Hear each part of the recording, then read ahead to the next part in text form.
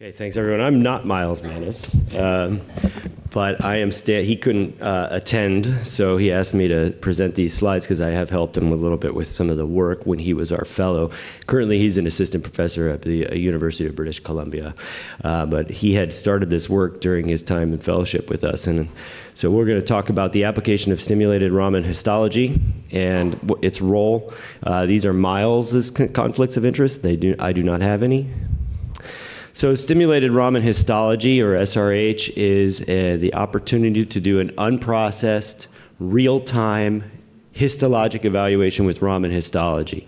Uh, it has a uh, device that's been pioneered primarily in neurosurgery world uh, at NYU, but what it, you can do is you can take an unprocessed piece of tissue and run it through this device that will run the, near, uh, the, the Raman histology wavelength at the tissue, and you can get some feedback uh, right, real time as to histology.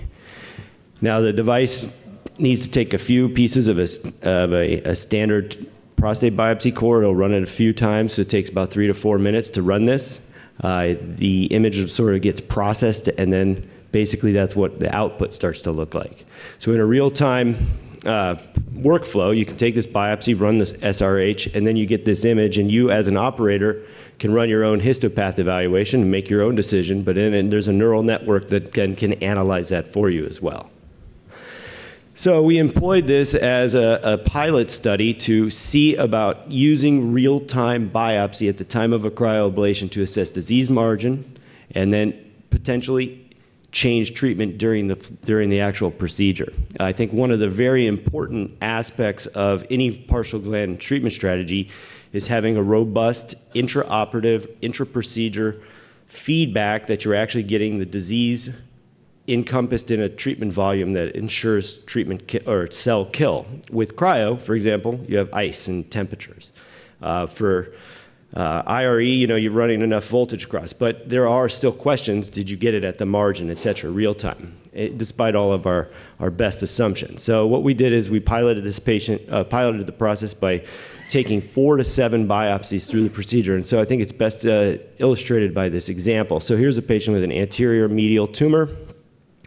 That's the index lesion. You would take a biopsy when you're in the operating room just before treatment. That confirms that that's the disease location real time. Okay, now you would take some margins of the, in, of the lesion itself and say, okay, this is what my initial treatment plan will be. Now we would then take some one centimeter margins. And for example, that second dot on the patient's right was found to be with the real time Raman histology to be positive. And so you could say, okay, well, now I need to extend the treatment, include that margin. And so then we also ran the final margins after treatment, and you could see that at that point, it's a little difficult to see here, but that second margin, this is a negative.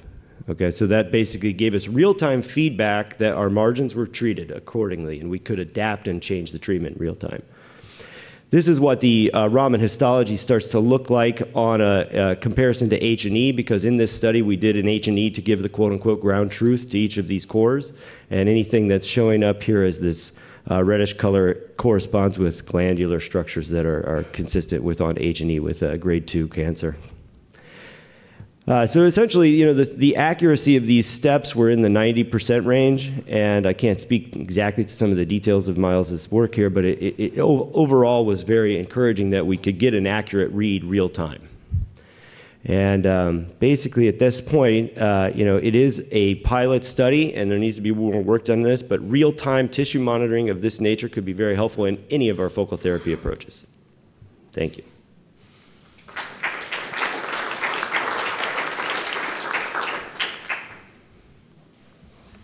probably shooting myself in the foot by asking so many questions before I present, but very interesting um, data here. But how would you suggest you start counseling patients and consenting them preoperatively if theoretically in real time you're changing the margins and therefore potential functional outcomes? Absolutely. So you, you, first have to start by explaining to them your approach based on the disease location in the first place. And so I do that routinely if it's a posterior lesion. Say, look, you know, I'm going to need to uh, assess the margin and put energy into your nerve bundle region. That's going to result in some in more, higher risk of impact on your erectile function. The ejaculatory function is another very important conversation we've had uh, come up a number of times. If you know that you're very likely going to take some uh, substantial amount of tissue that may then further impact ejaculation and loss of antegrade ejaculation. I tell them that as well. Uh, and you know, this could then be part of your consent. But when you're talking about the treatment planning beforehand, that's what we would do, and then we would just include a prostate biopsy in the in the, uh, the consent. But the question is, you know this is still very pilot, you know, and so we kind of warn them it might extend the treatment. But as we know, you know, a, single additional treatment typically doesn't substantially raise your, your gland uh, associated side effects. All right, thank you. That's absolutely brilliant. Uh, there's obviously a lot going on at the moment around digital pathology and AI reporting.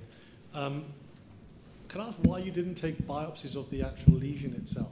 We did. The- The, that first biopsy was performed, yeah. Know after treatment. Oh, after treatment, I think I think that uh, Miles did have some of that. He did. He, he did it. Yeah, you have to yeah. Thaw for quite some time to Yes, be able to stick yes, yeah. So that that is always part of the process. So you get the big ice ball in there, and then you try to like get a margin piece. And so there are some technical aspects that we were still working out. I mean, this is a very limited pilot study, but we did take some post. You know, I, I'll be honest. Sometimes that at the end of the case, after two freeze-thaw cycles, that didn't happen. But yeah, we were trying to to do that. Because you could add a fourth cycle, you could do all sorts of things Correct. if you think there was residual disease. Yeah. So, cool. Thank you. Jim, um, you know, it begs the question, can you do, you know, in the future, do you think this means that we would be able to do something in the same setting? Now, you know, obviously you have to have the opportunity to counsel the patient, but let's say you're doing a confirmatory biopsy, like, you know, the initial abstract that you mentioned, where some of that counseling has already happened, uh, that rather than having to have a separate session, that you would be able to maybe make your diagnosis or confirm your diagnosis in terms of candidacy and then treat them in the same setting? Certainly, I think uh, we saw that with the ClariCore biopsy device that we, we presented a few years ago at AUA, which is a similar real-time feedback of spectroscopy on the tissue to try to give you a, a positive or negative, which you could employ in this way. And so, it does prompt us this concept. If you, you know you came in with a an MRI with a lesion and you know real time, we said you know this looked highly suspicious for prostate cancer. We're going to confirm its its uh, cancerous nature and go forward with a, a local treatment right now. And I think that certainly is within the realm of possibility as this becomes more robust. Thank you. Uh, absolutely brilliant. But uh, I just wanted to ask, um, why did you take one sample? I mean, my experience is, you know, you know, when I'm doing the left posterior apex, you know, I always, and, and I'm worried about the area. You know, four is my sort of lower limit of uh, being cer- certain. Why, why one? Because Well, I mean, if it's negative, I mean, how much confidence have you got in that? Well, the, the issue is with it really just the processing of the, the, the core now. So each of these took three to four minutes, and if you were going to wait for uh, feedback and you start to take four, you're looking at you know extending things into the half hour per each point. So that's why.